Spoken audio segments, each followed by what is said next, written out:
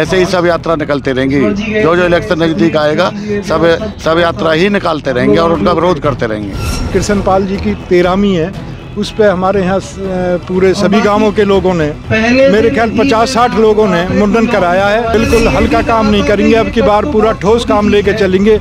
जो कि आर पार की लड़ाई हम हम शुरू कर दी जाए हमारी। और साढ़े छः लाख से इसको हराएँगे। बारिश हो सर्दी हो कैसा भी मौसम हो हमारे किसान भाई बैठे हुए हैं धरने पर और हम बैठे रहेंगे और आखिरी सांस तक हमारा ये संघर्ष जारी रहेगा। तो धन्यवाद। इंस्टा फ़ीड का डिजिटल प्लेटफॉर्म देख रहे हैं आप और इस समय मैं आप सभी को बता दूँ कि इस समय जो है एक बार फिर जो है मैं मोहन कट की बात करने वाला हूँ लेकिन आपको बता दूँ कि यहाँ पर जो है प्रिंसिपल गुजर जो कहीं के सांसद हैं आज उनकी जो है ये लोग तेरहवीं का कुछ ऐसा प्रोग्राम था जो इन्होंने कहीं की मीडिया बंधुओं को प्रेस नोट डाले लगातार उनको बताया। एक बार बातचीत करते हैं। जी क्या प्रोग्राम था आज? क्या कुछ किया है आप लोगों ने? आज मुंडन कराया है उसकी तेरहवीं थी। किसकी कृष्ण पाल गुजर की। मैं जब भी कुछ तो बोलता क्या कुछ कुछ कहना चाहोगे? तो क्या आगे की रणनीति क्या है? आगे की ये रणनीति है कि अब पिछली बार तो हमने यहाँ सब यात्रा निकाली थी। आगे अगले एतवार को किसी और गाँव में भी निकालेंगे उससे अगले एतवार को किसी और गाँव में निकालेंगे। ऐसे ही सब यात्रा निकलते रहेंगी। जो जो इलेक्शन नज़दीक आएगा सब सब यात्रा ही निकालते रहेंगे और उनका विरोध करते रहेंगे। नहीं अगर हम बात करें कृष्ण तो तो लगातार पहली विपक्ष बार जो है आप लोगों को संबोधित किया जा रहा है सबको ये पता चला विपक्ष हैं कि आपका कट का सब राजनीति जो है हो चुका है। विपक्ष क्यों है? विपक्ष ने वोट नहीं दी थी उन्होंने। हमने पहले उनकी वोट दी थी। अब हमें को विपक्ष बताता हो? पहली बार। उस पर क्या सबूत है कि विपक्ष है? कौन सी पार्टी से अब संबंध रखते हैं? वो सबूत दे हमको। हो? हैं छठा महीना चल रहा है? छठा महीना चल रहा है? छह महीने होने वाले पंद्रह तारीख को तो समझ वोटों आया सबको आधार करेंगे।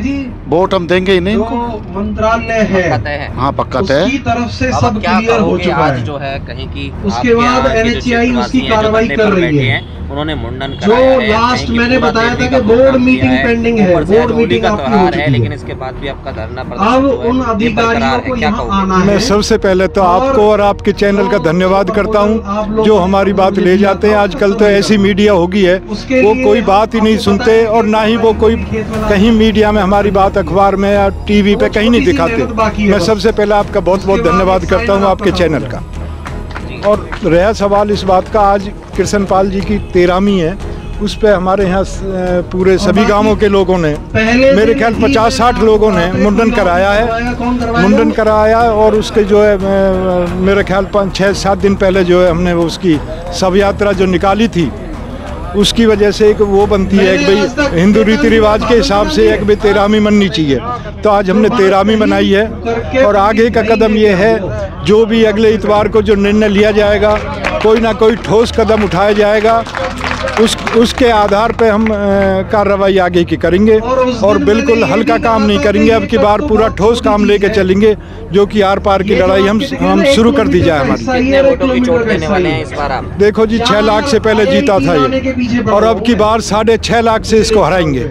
अच्छा हाँ जी। आपका पक्का पक्का डिसीज़न है। गाँव गाँव हम जा रहे हैं। एक टीम ऐसी बना दी है हमने दस पाँच। अब जो गाँव गेल जाएँगी और ये समझाएँगी एक भाई कृष्ण पाल का असलियत क्या है। नहीं अगर आप पाल का विरोध कर रहे हैं तो किसी के पक्ष में होंगे आप लोग। नहीं हम पक्ष में नहीं हम तो कृष्ण पाल का ही विरोध करेंगे बस। आगे जी तो कोई हमें राजनीति से मतलब नहीं है हमारे किसान तो सिर्फ़ अपनी वो चाहते हैं अगर भाई हमारी मांग पूरी हो। और हम बात करें आगे की रणनीति की की जो आप बता रहे हैं डेढ़ की गुनी हुई। जो है वो तय की जाएगी। तय की जाएगी। हाल फ़िलहाल की बात करें तो हाल फ़िलहाल का माहौल क्या अब ऐसा है क्योंकि कहीं की कि लेने वाले थे मना कर दीजिए, हमें लेकिन तो इसके अपने आप जो जाएगी। यहाँ पर बरकरार बैठे हुए हैं। नहीं ये अभी ये त्योहार है जो खत्म हो जाएगा इसके बाद जो अगला इतवार आएगा उस इतवार को हमारी पंचायत जो निर्णय लेगी उसमें कार्रवाई करेंगे हम। अच्छा और ठोस तरीका से कार्रवाई करेंगे। और सरकार सरकार को झुकाने का काम करेंगे। हमारा हमारा जो धरना है जब तक चलता रहेगा जब तक हम सरकार को झुका नहीं देते। अच्छा जी गजेंद्र जी क्या कहोगे आज के धरना प्रदर्शन देखिए? बाहर पे भी आप धरने पर बैठे हैं और कहीं ना कहीं आप लोगों ने मुंडन भी कराया है। क्या जी मुंडन कराया है और तेरहवीं है और हमारा त्योहार भी यही मना है। हमारा समाज है हमारे बुज़ुर्ग हैं हमारे किसान भाई हैं। एक सौ बासठ दिन से ऊपर चल रहा है धरना। लेकिन मंत्री महोदय जी हैं, अभी तक हमारे धरने पर नहीं आए हैं। ये बहुत हमें बड़े दुखद की बात है और हमारा धरना जारी रहेगा। बारिश हो, सर्दी हो, कैसा भी मौसम हो, हमारे किसान भाई बैठे हुए हैं धरने पर हम बैठे रहेंगे और आखिरी सांस तक हमारा ये संघर्ष जारी रहेगा। और हम लड़ते रहेंगे। वोटों का समय है मंत्रियों को ये भी पता चल जाएगा कि कितना दम उनमें है और कितना जनता में है। जनता जनार्दन है ये राजपाट को मिट्टी में मिला देगी। अच्छा। हाँ। पहले तो मैं पत्रकार बंधुओं का धन्यवाद करना चाहूँगा कि आप समय पे आते हैं और पूरी न्यूज़ को कवरेज करते हैं। आपका बहुत बहुत धन्यवाद। आज का जो मकसद था हमारे जो फरीदाबाद के सांसद थे पूर्व सांसद कुशल गुजर जी उनकी नाराज़ होकर इलाके ने, क्षेत्र ने शव यात्रा निकाली थी और उस दिन ये घोषणा करी थी कि हम आने वाले इतवार को 24 तारीख को होली के दिन मुंडन कराएँगे। वो कार्य आपके समकक्ष हुआ भी है, जिसकी वीडियो ऑलरेडी बन चुकी है। देखिए, मंत्री जी ने अभी बगौला किसी प्रोग्राम में बोला था कि मैं कट बनवाऊँगा। लेकिन मैं मंत्री जी से ये पूछना चाहता हूँ कि जब हम बामन पालों की सरदारी के साथ में लगभग साठ साठ लोगों की सरदारी दिल्ली गई थी और हमारे नरेंद्र चेयरमैन जी ने मंत्री जी के समकक्ष एक बात कही थी कि मंत्री जी आप अनाउंस कर दीजिए ऑफिशियली कि सरदारी आप जाइए आपका कट बन जाएगा। तो मंत्री जी ने कहा था नहीं भाई मैं नहीं कहूँगा क्यों? बस जिस प्रकार से तुमने सीएम साहब की ज़ुबान पकड़ ली थी, आप मेरी भी पकड़ लोगे। अब उन्होंने परसों बगौला किसी गार्डन में प्रोग्राम हुआ था, उसमें बोला है कि मैं कट ज़रूर बनवाऊँगा। चाहे ये धरती इधर से उधर हो जाए तो मैं ये पूछना चाहता हूँ सांसद साहब से कि उस दिन आप कहाँ थे? जब हम सरदारी के साथ दिल्ली गए थे उस दिन तो आपने दो मिनट में मना कर दी थी। नरेंद्र चेयरमैन से बोला था बैठ जा बैठ जा बैठ जा। उस दिन तो हमारे भाई को उन्होंने मतलब बेइज्जती करी थी। और आज वो कह रहे हैं कि मैं मतलब कट ज़रूर बनवाऊँगा। अब उनको डर लग रहा है उनको हार सताने लगी है। जहाँ जा रहे हैं वहाँ डर का माहौल उनको दिख रहा है। हार नज़र आ रही है। तो कितने वोटों की चोट देने वाले हैं? देखिए,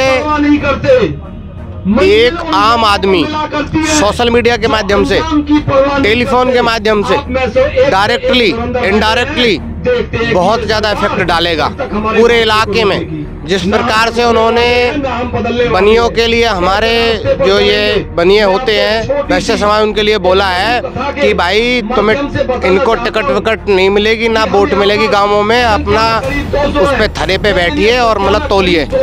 तो ये मंत्री जी ने जो जातिवाद बोला है ना, ये बहुत गलत बोला है। इसका असर उन्हें इलेक्शन में ज़रूर मिलेगा और उन्हें हार का सामना देखना पड़ेगा निश्चित रूप से। शहर में जो है दो सबसे प्रॉपर मुद्दे हो गए हैं किसानों को कटना मिलना और एक वैसे समाज को इस तरीके से नीचे देखिए मैं आपको पत्रकार जी मैं आपको एक बात और बताना चाहता हूँ।